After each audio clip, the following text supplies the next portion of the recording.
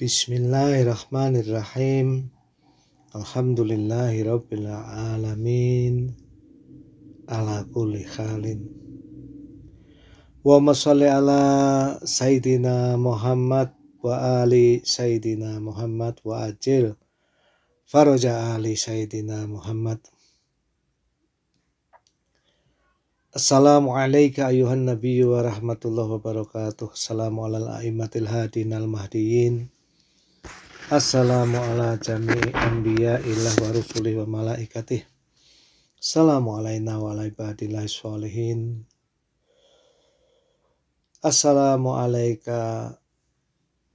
Ya amirul mu'minin. Assalamu ala sayyidai sababi ahlil jannati ajmain. Assalamu ala aliyin Zainil Abidin. Assalamu ala Muhammad ibni Ali Bakir ilmi Nabiyin Assalamu ala Ja'far ibn Muhammad As-Sadiq. Assalamu ala Musa ibn Ja'far Al-Qadim. Assalamu ala Ali ibn Musa Al-Ridho Assalamu ala Muhammad ibn Ali At-Taqi Al-Jawad Assalamu ala Ali ibn Muhammad Al-Hadi Naki Assalamu ala Al-Hasan ibn Ali As-Saki Al-Askari Salamu ala al-Hujjat ibn al-Hasan al-Qa'im bil Muntazor al-Mahdi Salamu alaiki ya Fatimah Sayyidatan Nisa'il Alamin. Salamu alaiki ya Khadijat al-Kubro Salamu alaiki ya Zainab al-Kubro Assalamu alaika ya Abul Fadlil Abbas. Assalamu alaika ya Ali ibn al-Husain al-Akbar. Assalamualaikum jami'an warahmatullahi wabarakatuh. Allahumma lakal hamdu hamda syakirin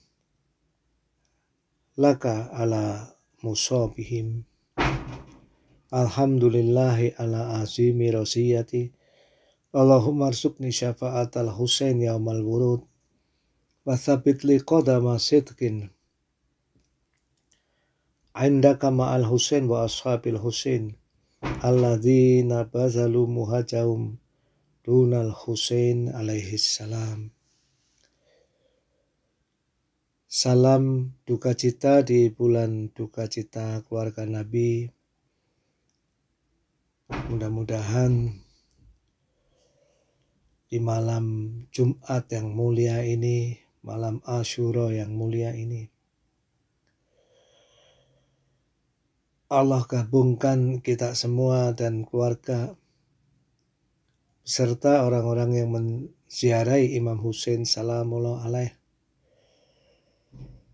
di Karbala kita semua mudah-mudahan dan keluarga hari ini maupun setelahnya hingga hari akhir kelak digabungkan dengan orang-orang yang berduka dengan duka cita keluarga Nabi mencintai mereka sepenuh hati dan baroah terhadap musuh-musuh keluarga Nabi. Allahumma sholli ala Muhammad wa ali Muhammad wa ajil farojahum. Para pemirsa Madula Hijabi TV yang mudah-mudahan senantiasa ada dalam Barokatul Muhammadiyah. Para pemirsa Majelis Asa,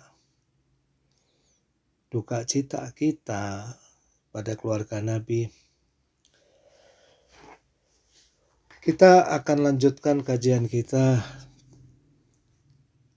tentang Imam Husain salamullah alaih, tentang Ashura, tentang Karbala, ditinjau dari doa Yaumul Arafah. Saya akan mulai dengan membacakan potongan dari doa Arafah yang ada di kitab Mafatihul Jinan. Di sini saya gunakan kitab Mafatihul Jinan yang ada terjemahan bahasa Indonesia jilid 2 halaman 325. Bismillahirrahmanirrahim. Allahumma sholli ala Sayyidina Muhammad wa ali Sayyidina Muhammad. Allahumma ma'akhofu fakfini ini Imam Husain salamul alaih dalam potongan doa ini berdoa sebagai berikut Ya Allah dari apa yang aku takuti maka fakfini hilangkan perasaan takut. Atau cukupilah aku. Wa ma ahzaru faqini dan dari setiap apa yang aku khawatirkan lindungilah aku. Wa fi nafsi wa dini dan dalam diriku dan agamaku jagalah aku. Wa fi safari fahfasni. Dan dalam perjalananku maka lindungilah aku. Wa fi ahli wa mali fakhlufni ya. Ini penterjemahannya saya akan ambil dari Jawat Somali ya. Beliau menerjemahkan wa fi ahli wa mali fakhlufni. Dan dalam keluargaku dan hartaku maka peliharalah mereka setelah aku. Kalau dalam bahasa Inggris Ayatullah Jawad Somali atau Dr. Jawad Somali menerjemahkannya and take care of my family after me. Saya sengaja mengambil terjemahan yang ini karena menurut saya terjemahan bahasa Indonesia yang uh, dari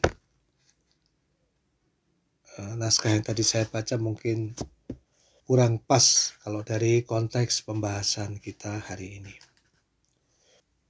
Kita uh, cukupkan dulu pengutipan uh, dari uh, doa Yamul Arafah mungkin kita akan mulai pembahasan kira-kira apa yang dikandung dalam bait-bait ini. Yang pertama tadi Allahumma ma'akhofu fakfini. Ya Allah, dalam hal-hal apa yang aku takut, maka cukupilah aku. Mungkin kalau diperpanjang kira-kira, ya Allah dalam hal-hal yang aku takutkan, peliharalah aku dan mampukan aku untuk merasakan bahwa pemeliharaanmu atau kepedulianmu padaku itu mencukupi. Dokter Jawad Somali menjelaskannya sebagai berikut bahwa ada banyak hal yang mungkin kita takut, kita takuti kalau kita tidak merasakan bahwa Allah itu bersama dengan kita. Allah itu ada di sini bersama dengan kita dalam semua keadaan. Wahwa ma'akum aina kuntum dan dia itu besertamu di mana saja engkau berada. Dan Allah itu beserta kita semua dalam keadaan apa pun. Jadi kalau dengan merasa bahwa ada Allah di sisi kita,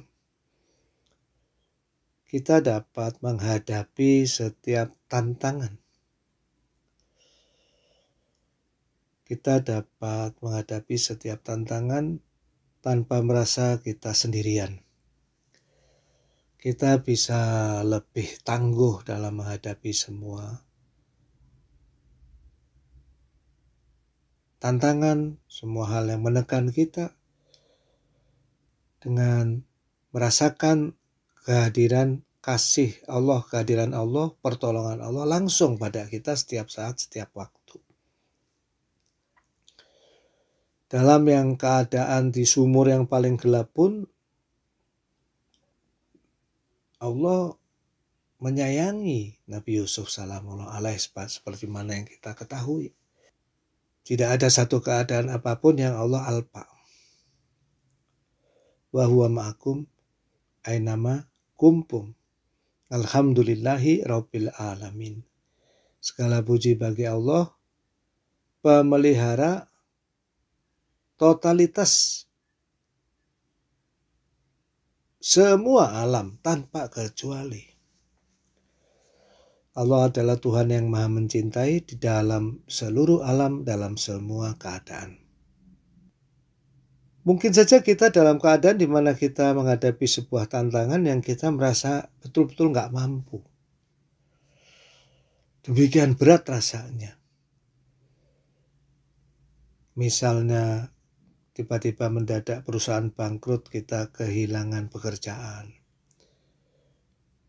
atau tiba-tiba ada bencana besar menimpa kota kita naudzubillah min dalik kita kehilangan seluruh orang-orang yang kita cintai seperti yang telah terjadi tahun 2004 lalu saudara-saudara kita di Aceh atau yang wabah besar di dunia ya yang telah kita alami tiga tahun terakhir ini yang alhamdulillah sekarang sudah mereda.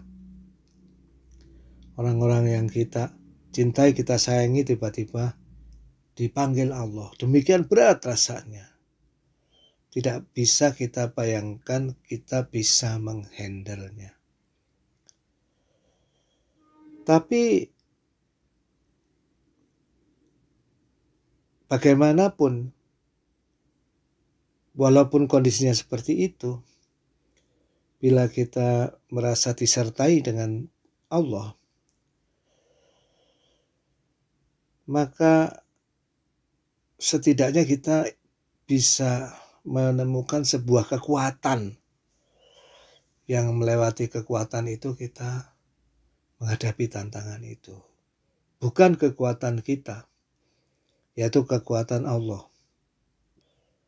Ini menunjukkan pada kita betapa dengan merasa kita terus bersama dengan Allah, maka ada sebuah sumber energi yang tak terhingga, sumber kekuatan yang tak terhingga, yang menguatkan kita menghadapi berbagai tantangan. Kita insya Allah akan ada pada satu keadaan di mana kita tetap baik-baik saja apa pun yang kita hadapi. Ini adalah penjelasan dari Dr. Jawad Somali kira-kira. Allahumma ma akhafu fakfini. Ya Allah, dari apa yang aku takuti ini cukupkan aku. Buatlah peliharalah aku dan berilah aku kekuatan sehingga aku dapat merasakan kasih sayangmu, cintamu, kepedulianmu, pemeliharaanmu padaku ini cukup. Cukup untuk menghadapi semua tantangan. Oleh karena itu, salah satu yang dianjurkan pada saat kita menghadapi keadaan yang sangat berat adalah mengucapkan wirid la haula wala quwata illa billahil aliyil adim. Tidak ada daya dan tidak ada upaya kecuali dari Allah, dengan Allah. Al-Ali al-Adim yang maha tinggi lagi maha agung. La haula wala quwata illa billahil aliyil adim. Ya, ini salah satu zikir yang memang dianjurkan untuk kita mengulang-ulang menuliskannya di dalam hati kita. Sekali lagi dengan catatan bahwa Al-Fakir sebagai orang yang berbicara ini juga belum mengamalkan ya. Mudah-mudahan melalui majelis ini Al-Fakir pun kita semua mendapat taufik untuk menuliskan askara la haula wa la quwata illa billahil alil azim dalam lembar-lembar jiwa kita sehingga menjadi salah satu jalan untuk Allah mengabulkan Allahumma ma'akhofu fakfini. Ya, nah ini masih dalam uh, konteks yang sama wa ma'akhzaru fakini ini masih satu benang merah ya kira-kira ya dan dari apa yang aku khawatirkan ya lindungi aku. Wa fi nafsi wa dini fakhrusni. Nah ini menarik ya. Dan dalam diriku dan agamaku dua ini menjadi perhatian khusus dari Imam Husain salamullah alaih. Fahrusni, jagalah aku. Selama diri kita yang terdalam ini ke, masih terpelihara, tidak terkotori oleh kecemasan, masih tetap tauhid itu tidak terkotori, agama ini masih lurus, kita tidak melakukan maksiat pada Allah, maka sebenarnya hal itu mencukupi. Dan itulah tugas kita dalam kehidupan kita. Ya. Nah ini mengenai Allahumma ma'akhafu fakfini. Wa masalli ala Sayyidina Muhammad wa ali Sayyidina Muhammad. Bagaimana bentuk lafaz-lafaz bentuk kita? Selain la haula wala quwata illa billah ini saya ingin membacakan yang dituliskan juga oleh Said Muhammad Hussein Husaini Tehrani Atul Hussein ya ini saat-saat akhir ketika Imam Hussein salamullah alaih mendekati kesyahidan. Saya akan coba bacakan terjemahan bebasnya. Sejumlah luka-luka ya. Luka-luka di tubuh Imam Husain salamullah alaih ini sudah membuat Imam Husain kelelahan dan kelelahan luar biasa. Beliau salamullah alaih berhenti bertempur untuk beristirahat sesaat. Tapi seseorang melemparkan sebuah batu di kening beliau. Maka darah mengalir di wajah Imam Husain salamullah alaih. Ini keadaan menjelang kesyahidan Imam Husain salamullah alaih. Cucu Nabi, cucu yang sangat dicintai Nabi salamullah alaih di hari Ashura, hari syahid beliau.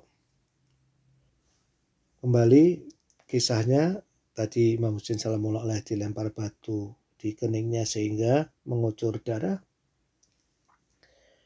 Ketika beliau ingin membersihkan darah dari matanya dengan bajunya, seorang lain menusuk jantung Imam Husain salamullah alaih atau melukai atau mem, mem, memanah ya jantung Imam Husain salamullah alaih dengan panah berujung tiga. Apa yang dikatakan oleh Imam Husain Salamullah dalam keadaan itu menurut pengisahan dari Said Muhammad Husain Husaini Tehrani. Bismillah dengan nama Allah. Wabillah dan dengan Allah. Wa ala millati Rasulillah. Dan dengan milat atau agama Rasulullah Shallallahu Alaihi Wasallam. Bismillah wa billah wa ala millati Rasulillah. Demikian ucapan Imam Husain salamullah alaih. Yang artinya kira-kira dengan nama Allah dan dengan Allah dan atas millat Rasulullah Shallallahu Alaihi Wasallam. Nah ini kalau kita lihat adalah salah satu bentuk pengabulan doa dari Imam Husain salamullah alaih. Ya Allah, dari apa yang aku takutkan maka cukupkan aku. Dari apa yang aku khawatirkan maka lindungi aku. Wa fi nafsi wa dini dan dalam diriku dan agamaku maka jagalah aku. Dalam keadaan yang paling menyakitkan secara fisik pun yang tidak bisa kita bayangkan lagi secara fisik maupun mental di mana orang-orang yang beliau cintai seperti Abul Fadl Abbas salamullah alaih para sahabat beliau salamullah alaihim Muslim bin Akil salamullah alaih Ali Akbar salamullah alaih semua sudah syahid. Allah benar-benar melindungi Imam Husin salamullah alaih. Hatinya 100% bersama dengan kehadiran ilahiyah. Agamanya tidak bergeser sedikit pun dari agama kakek beliau yang beliau cintai agama Rasulullah Shallallahu Alaihi Wasallam dan menyandarkan semua perkara pada Allah. La haula wa la quwata illa billah. Dan ini adalah salah satu hakikat dari kemenangan yang sejati. Kemenangan yang sejati tidak lain adalah hati dan jiwa yang senantiasa melihat kehadiran Allah setiap saat, setiap waktu. Diri dan seluruh diri kita yang senantiasa ada dalam ketaatan pada Allah. Maka dalam ziarah pada para syuhada Karbala ziarah syuhada ya saya bacakan teksnya sedikit itu kita sampaikan Faya laitani kuntu ma'akum Dua celakalah aku, sekiranya aku bersama kalian, fa'afu sama aku, maka aku akan menang bersama kalian. Dari para syuhada Karbala bersama Imam Husin salamullah alaihim ini beroleh kemenangan yang sejati. Di antaranya adalah kebersamaan keyakinan yang tidak pernah cacat sedikit pun sampai titik darah penghabisan. Diri yang senantiasa terikat sepenuhnya pada Allah, yakin sepenuhnya pada kasih sayang Allah, apa pun yang terjadi, dan tetap setia pada milat Rasulullah Shallallahu Alaihi Wasallam. Mari kita ulangi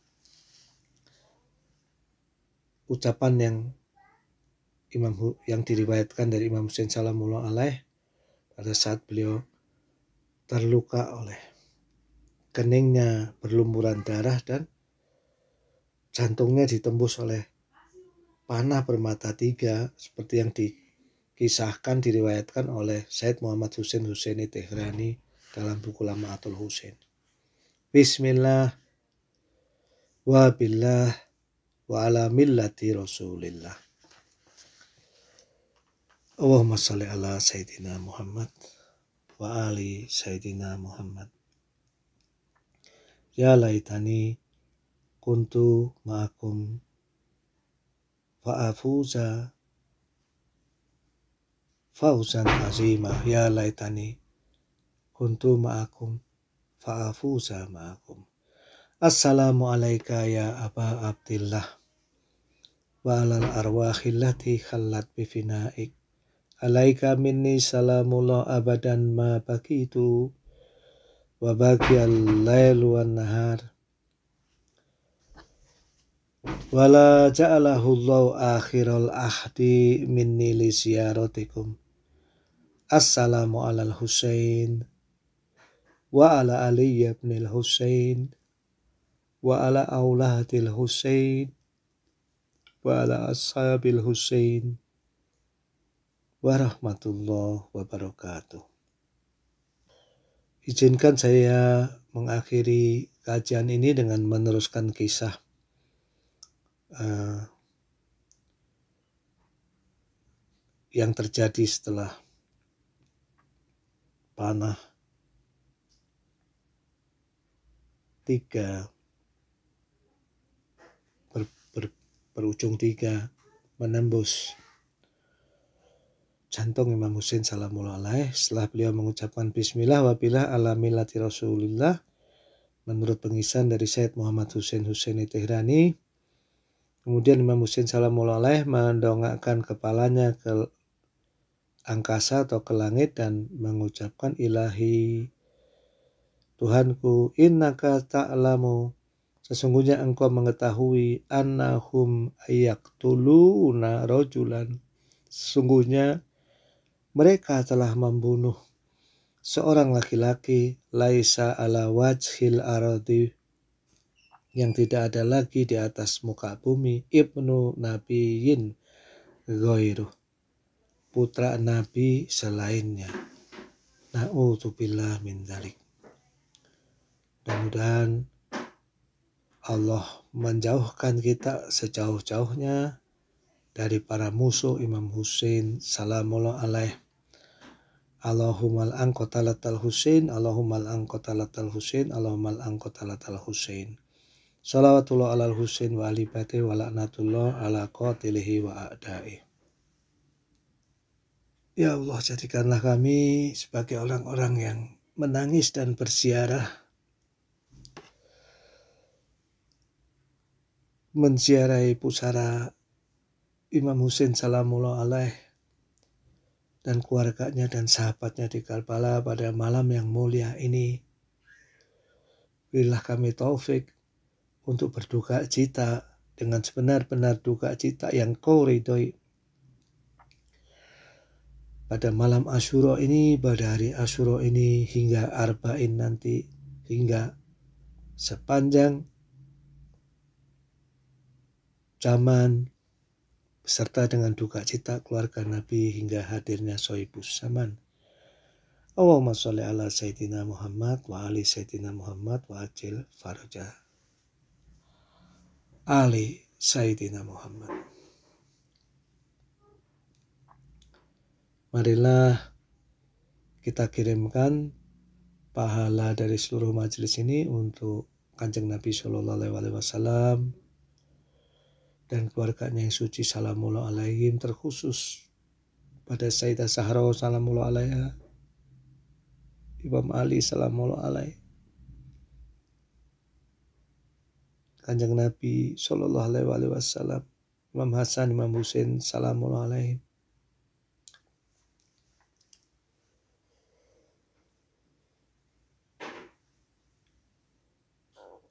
Sayyidah Khadijah Al-Kubro salamullah alaih Sayyidina Abu Talib salamullah Aimal Maksumin salamullah dan seluruh keluarga Nabi dan zuriat Nabi.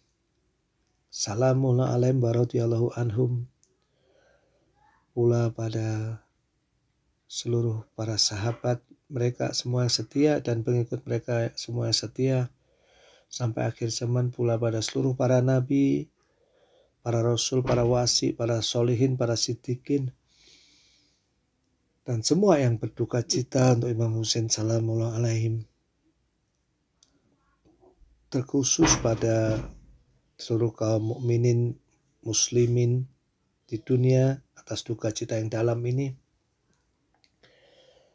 Baik yang masih hidup maupun yang sudah mati lebih khusus lagi pada para guru kita Allah yarhamhuma Ustaz Jalal Bu Iskartini Syed Hussein Al-Habsi, Syed Sekaf Al-Jufri, Syed Aib As-Sekaf, dan seluruh guru-guru kita yang lain.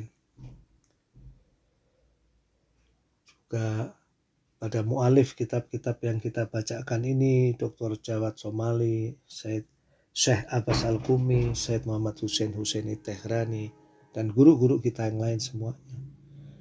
Lebih khusus lagi pada para sahabat kita yang sudah meninggalkan kita, juga keluarga kita, orang tua kita yang sudah meninggalkan kita. Di antaranya terkhusus Kang Beben atau saudara yang kita cintai Muhammad Beni Wardana. Ya. Dan seluruh amwatuna dari seluruh evan-evan kita, ayah ibu kita yang sudah meninggalkan kita, maupun saudara-saudara kita yang lain semuanya. Pula pada semua saudara kita, keluarga kita, terkhusus orang tua kita dan guru kita yang masih hidup, kita kirimkan pahalanya untuk mereka semua. Mudah-mudahan yang berhutang ditunaikan hutangnya yang sakit, disembuhkan sakitnya. Mudah-mudahan yang sedang mengalami masalah dientaskan masalahnya. Mudah-mudahan Allahumma adkhil ala ahlil kubur surur Allahumma mahni kula fakir Allahumma asfi kula jai Allahumma maksu kula urian Allahumma qdidana kula madin Allahumma farij an kulli makrub Allahumma rutta kula gharib Allahumma fukka kula asir Allahumma aslih kula fasid min umuril muslimin Allahumma asfi kula marid Allahumma suta fakrona bikinak Allahumma ghayyir su'a halina bi husni halik. Allahumma qbi anna daina wa nina minal fakr innaka ala kulli syai'in qadir. Untuk itu semua Al-Fatihah tasbikuhu salawat. Allahumma sholli ala Bismillahirrahmanirrahim. Alhamdulillah Allahumma sholli ala Muhammadin wa ali Muhammad fil awalin wa sholli ala Muhammadin wa ali Muhammad fil akhirin wa sholli ala Muhammadin wa ali Muhammad fil malail a'la wa sholli ala Muhammadin wa ali Muhammad fil mursalin. Allahumma ati Muhammadan al wasilata wa syarafa wa darajatal kabira Allahumma inni amantu bi Muhammadin wa lam ara fala tahrimni yaumal qiyamati ru'yatah warzuqni wa tawaffani ala Waskini min khawdi masroban lawiyan sa'ifan hani'an innaka ala kulli syai'in qadir. Allahumma fakama amantu bi Muhammadin walam araf arifni fil jinani wajhah. Allahumma balligh ruha Muhammadin anni tahiyatan kasiratan wa sallallahu ala sayyidina Muhammadin al-muhtar wa alil adkhar rabbana walamna anfusana fa illam taghfir lana wa tarhamna lanakunana minal khasirin. Rabbana atina fid dunya hasanah wa fil akhirati hasanah wa qina azabannar waj'al akhira akibatana khairan waj'al akhira akibatana khairan waj'al akhira akibatana khairan Wa ala sayyidina Muhammadin wa alihi thayyibin tahirin walhamdulillahi rabbil alamin wala haula wala quwata illa billahil aliyyil azim. Wa ma taufiqi illa billah alaihi tawakkaltu wa unib. Wassalamualaikum warahmatullahi wabarakatuh.